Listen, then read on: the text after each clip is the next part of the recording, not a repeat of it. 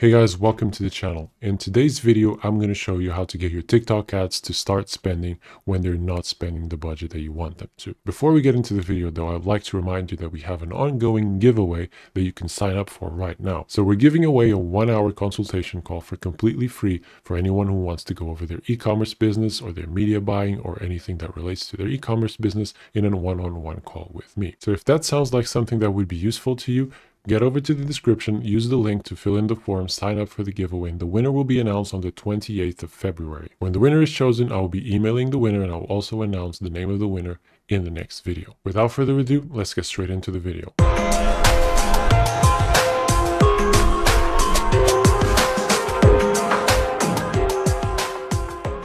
Okay, so if you're having issues getting your TikTok ads to spend, there are a few things that you can try. First and foremost, and that's the basic thing that you can try because it's the easiest one to do, is, and this is especially useful if you haven't used your ad account before. Sometimes you need to get your ad account running before you get straight into your conversions traffic for complete payment.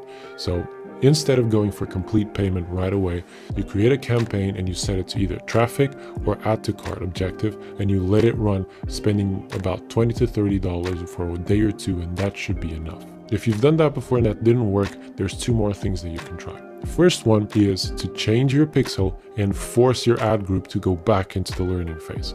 When TikTok goes into the learning phase, it distributes your ads at a cheaper cost and a wider scope because it wants to rush into finding your perfect audience and optimize for that audience. So if you force your ad group back into the learning phase, there is a chance that the ads that were not being distributed because of your bid being insufficient will start getting distributed. So let's hop into the computer and I'll show you how to do that. If you're in your Shopify account and you have your TikTok sales channel set up here, the only thing that you need to do is you go to your overview and then then you go to the TikTok marketing settings. This particular store is not connected to any TikTok account, so there's no information here. But when you go here, you will see the pixel settings for your integration. Once you get to the pixel settings, make sure to create a new pixel, apply that pixel, and you're pretty much good to go on this side. The next thing you need to do is use that pixel in your TikTok Ads Manager. So quickly hopping over to the ads manager here, the only thing that you need to do is replace your TikTok pixel here with your new pixel, try your complete payment as the optimization event and see how that goes. Remember to give it at least one or two days because TikTok ads can be slow to start running sometimes. So don't rush into making decisions. Give it a day or two. And if it still is not spending, then move on to the next method. So the next method is fairly obvious. If your TikTok ads are not spending,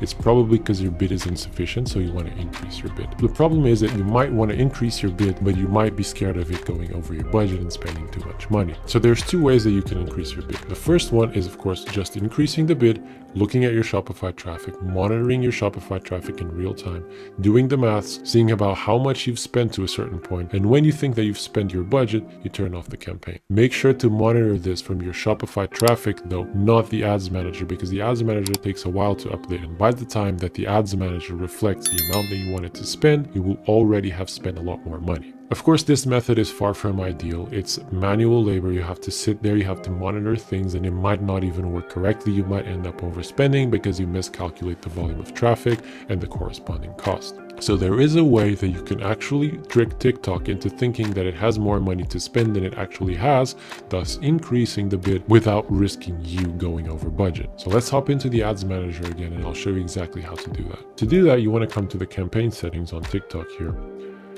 you want to set up your campaign and you want to scroll down here where it says budget. The limit is going to be turned on by default. So you want to make sure that you turn this off and then you set this to whatever your budget is. So if you want to spend $100 a day, you set this limit to $100 and you move on to the ad set.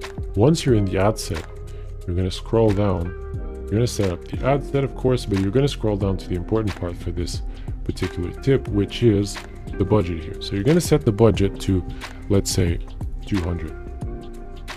So just this ad set alone is already bidding higher than the limit that you set on the campaign.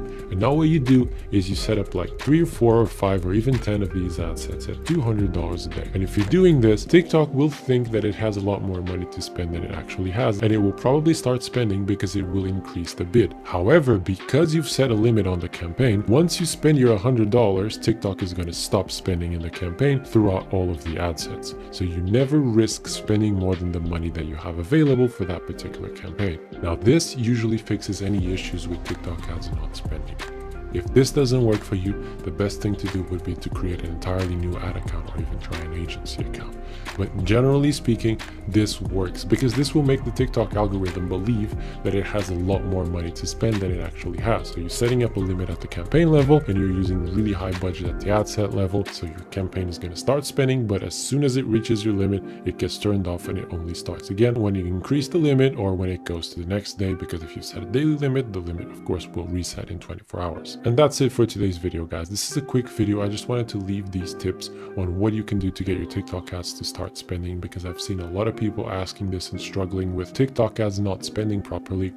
So I just wanted to leave you guys with these tips that you can implement to get your TikTok ads to start running. I hope it was useful. I do have a full TikTok ad strategy video coming very, very soon. So stay tuned for that. Make sure to click the subscribe button and hit the bell icon to be notified of every new upload. Let me know what you thought of the video in the comments. I hope it was helpful. Subscribe to the channel and turn on the notification bell. This will allow you to be notified whenever a new videos is uploaded.